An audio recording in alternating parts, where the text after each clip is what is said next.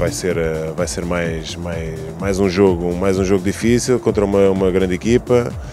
Um, mas nós vamos tentar eh, fazer de tudo para trazer um resultado positivo para Curitiba.